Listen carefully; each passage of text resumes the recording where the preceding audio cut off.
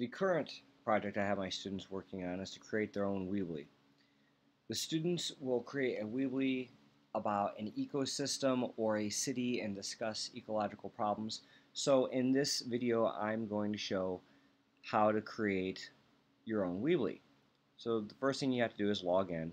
Again, I suggest using your Google uh, username and address. Just log in using Google. And I'm going to click on Add Site.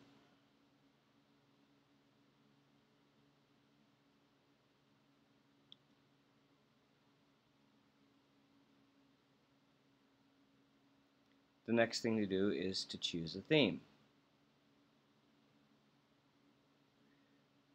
The website I'm going to make is going to be about ecology, so I will go and click. I think this one because it has a nice ecology looking background. I can always change the pictures myself.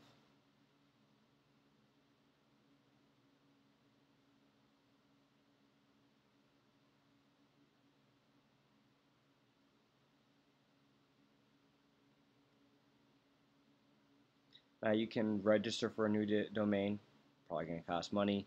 Connect to a domain you already own. You probably don't own a domain, but if you want to, you could set it up there.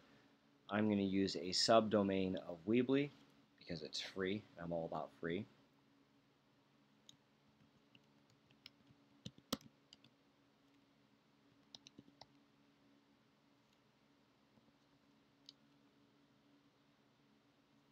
And cardinal biology is already taken. And cardinal HS biology is not, so I'm going to go ahead and go with that.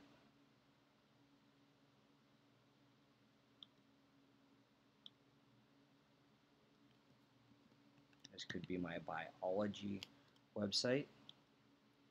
So I'm going to go ahead and change the name.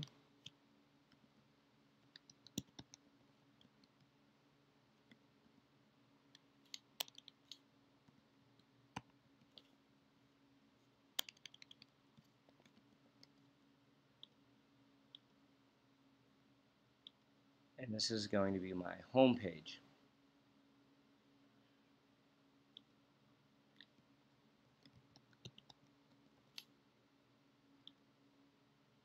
And here I can add a description.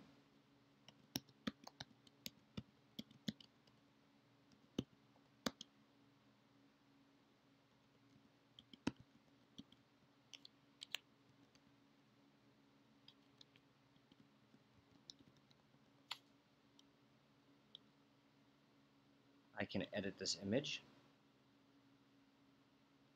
and I can select from their images or I can upload an image.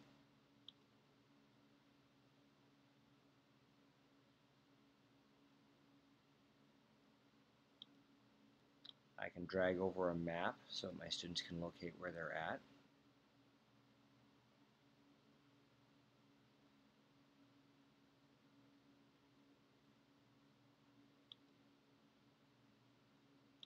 And I can change the address.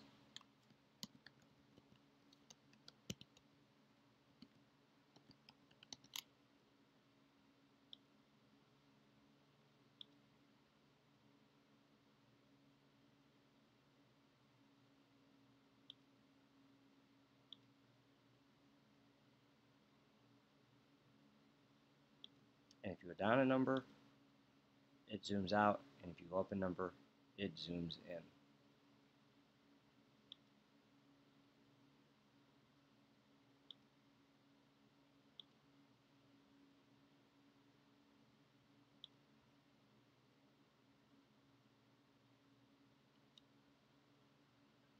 Okay, I can add some photos from the photo gallery.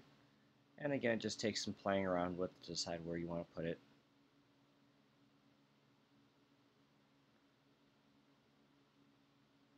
And again, with the uploading of the images, it's just simple as uh, finding them on your computer.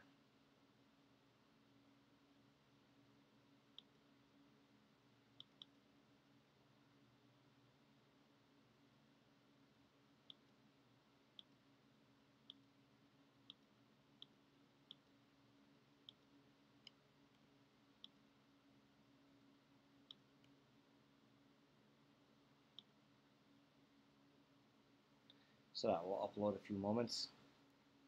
I can do a gallery, or I can also, there's another option over here to do it as a slideshow or a single image. You can also add title, text,